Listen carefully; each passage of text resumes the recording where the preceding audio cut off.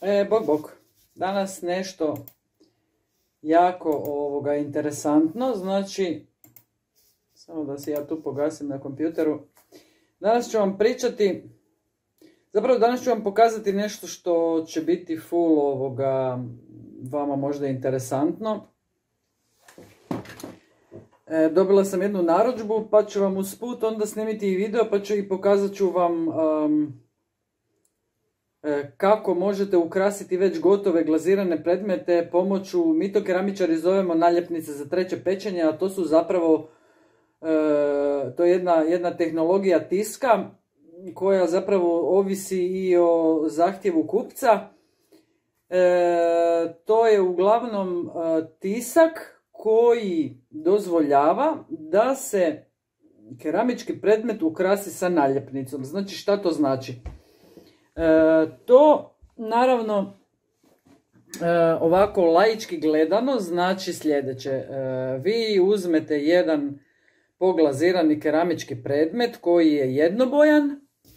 On obično treba doći u nekoj boji, najbolje je bijela. Ovo tu mi se sad uključio neki video, samo malo da ga ugasim. Nešto snimam pa onda ovoga, to se sad sve tu popalilo. Znači to je, treba imati na umu da je taj tisak za porculan, keramiku ili staklo, on se razlikuje od offset tiska, od recimo od citotiska na papir ili PVC foliju, zato što neke boje u tom tisku iz mog iskustva tipa kao ljubičasta, pink, magenta, znači te koje često vidite ovoga na, na tim predmetima, nemoguće su na porculanu, keramici i staklu, a da pritom budu postojane za pranje u perilicama, ne zato što ih e, nemaju oni u ponudi, nego zato što su to pigmenti koji, koji ne postoje. Znači, oni možda mogu biti u nekoj od nijansi i vama će možda offset e, tiskar reći da će on vama štampati magentu, ali iz mog vlastitog iskustva, znači vi ćete dobiti na naljepnicu ljubičastu, ali vam neće biti postojana na temperaturi. E, te naljepnice se peku na, ovisno o tome kako taj tiskar ovoga može tiskati ili na 600 ili na 850 stupnjeva. Znači u tom nekom trećem paljenju, ali se onda u tim slučajevima te nijanse koje sam vam nabrojila, znači ta ljubičasta pink i magenta, ovoga, ne bude vam se sjedinila s glazurom i sa staklom. Tako da ako na staklu ili porculanu hoćete neku jako intenzivnu boju, e, neće biti postojana na, na tim mehaničkim struganjima, na pranjima, u perilicama i tako dalje.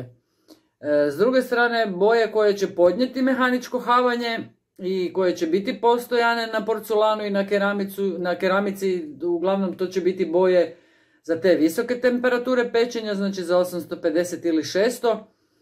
Znači te boje neće vrištati, neće biti onako full, uh, full jake. Imaće taj kao slabi intenzitet. Tako da u tom offset ili tom sitotisku ne možete očekivati neka čuda. Ja ću vam danas pokazati, ja, to je jedan moj klijent, nadam se da se on neće ljutiti što ću ja snimiti video, ali mislim da ne bi trebao, to bi njemu mogla biti samo dobra reklama.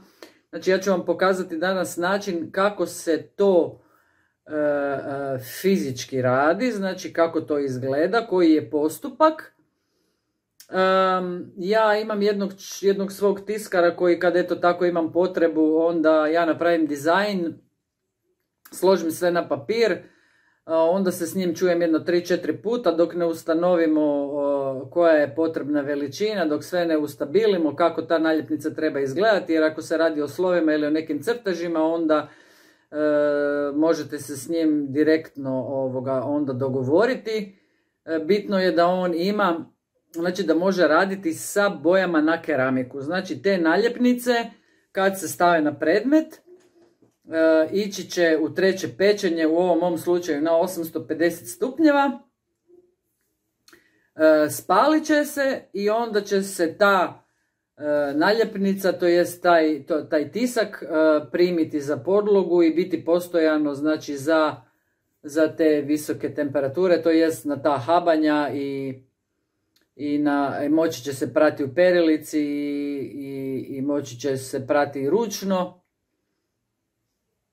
Tako da e, tu šalicu standardnu neku, evo u mom slučaju je šalica koja je pripremljena za taj digitalni tisak, ovoga u tom slučaju možemo preporučiti ručno pranje i sve ono ostalo što slijedi e, nakon, nakon pečenja.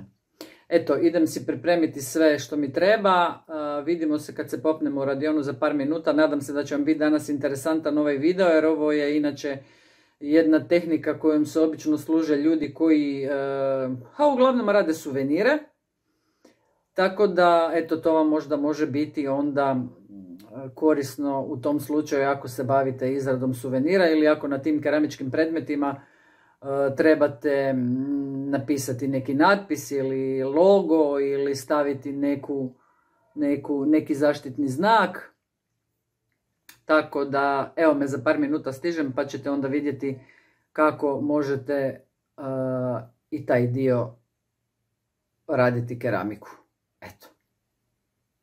Baš dobar video će biti danas. Vidimo se za par minuta. Evo ga. Ovo su šalice koje, na koje moram naljepiti naljepnice. To su šalice od mog klijenta. Ovo su naljepnice. Znači na šalici će pisati, ovako ćemo to složiti, no stres on stres. I ovdje sa strane će doći njihov zaštiti znaka, to je bijelo sup. Bok mačka, šta je bilo? Si gladna? Čekaj malo. Znači eto, naljepnice ovako izgledaju. To dođe u arcima, to vam pripremi grafičar. Ovo što vi sad vidite žuto, znači to je ljepilo koje štiti boju to će izgoriti u pečenju. Ovo su naljepnice za 850 stupnjeva. Tako da kad ja to sada ovako složim ovdje na šalicu, to će ići ovdje ovako no stres, on stres. I šta je najbitnije? E, sve ove šalice sada ja moram prvo obrisati s alkoholom i otprašiti. Ne smije površina na koju se lijepi naljepnica biti masna i prašnjava. E, kako se odlijepe naljepnice? Evo, ajmo probati jednu odlijepiti pa da vi vidite kako to izgleda. Znači naljepnicu uzmete i namočite ju u vodu. Treba će vam jedan tanjur sa vodom, jedna posuda. Evo malo ovako namočite da vam se to ne frče. I ako se sjećate kad one naljepnice kad se lijepe za uskrs na jaja. E, to vam tako. Znači sad će se naljepnica skinuti dole ovo bijelo ispod je papir, znači naljepnice će se skinuti ovako, ovo žuto, ne? To će postati, počet će se, evo, skliže se već, već ju mogu skinuti. I onda kad se ona skine, onda se može zalijepiti na šalicu.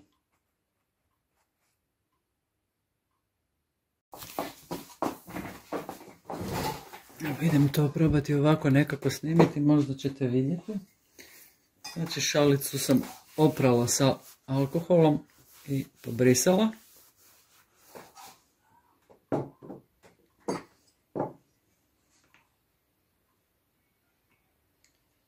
E, evo, naljepnica se skida, jel? Znači moram sad joj naći sredinu. Primim. I povučem. Sad je nađem mjesto, dok je još uvijek mokro, dok se još može, jer kad se osuši, onda se više ne može micati.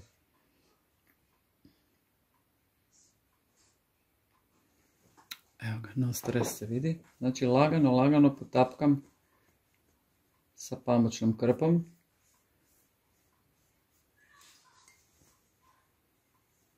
I stisnem svu vodu van. Svu vodu koja je ostala ispod naljepnice.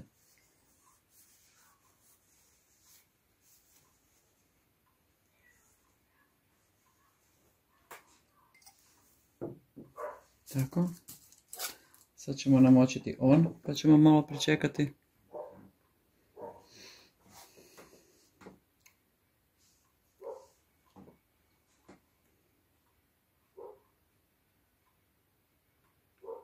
Naravno kad se radi serijski, kad to krene malo, ovo je sad samo za potrebe videa, znači kad se to ovoga, kad ja to krenem sad raditi, onda ću namakati, neću jednu po jednu, nego dvije, tri, četiri naljepnice u, u vodu, da mi se, dok, mi, dok jednu stavljam, da mi se ove druge odmoće, nije da čekam svaki put za, za svaku.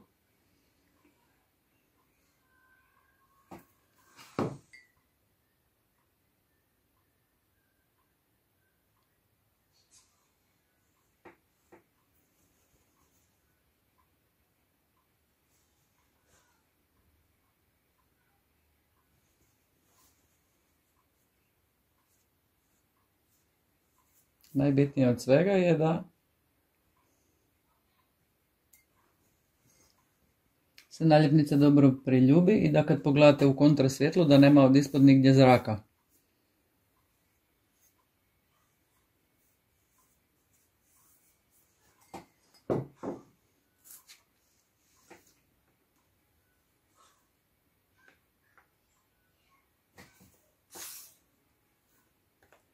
Evo i supa ćemo odmah namočiti da vidimo kako će on ispasti. Znači rekli smo ovo žuto će izgoriti i onda će naljepnica, vidjet ćete, slikat ću ovoga, o, imat će samo slova, ovo žuto se neće vidjeti, to će izgoriti.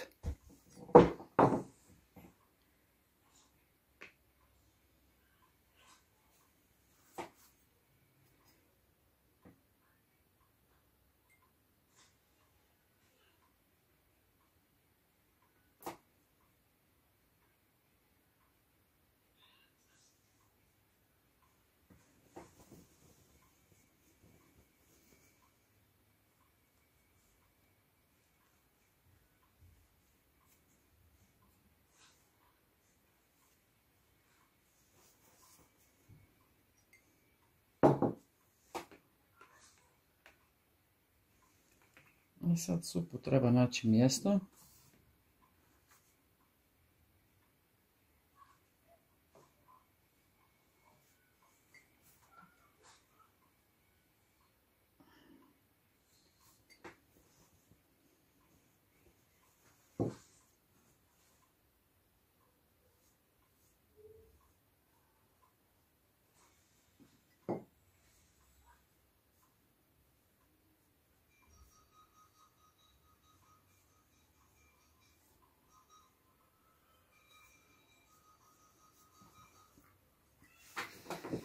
Evo ga, to je to sada.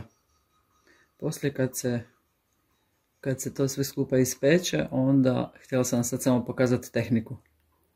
Onda to izgleda čisto drugačije, to ćete vidjeti. E, šta sam još bitno htjela reći, ništa, sad kad se tako naljepnice naljepe, najvažnije od svega je da se ne žurite, ja ostavim uvijek da mi se to sve skupa dobro osuši preko noći i onda tek punim peć i tek onda pečem. Znači nakon 24 sata nakon što mi je naljepnica na predmetu. Eto ga, evo da vidite jedan mali video da se i to može. Pa se čujemo i vidimo. Ja idem dalje sa No Stress on Stress. Bog svima.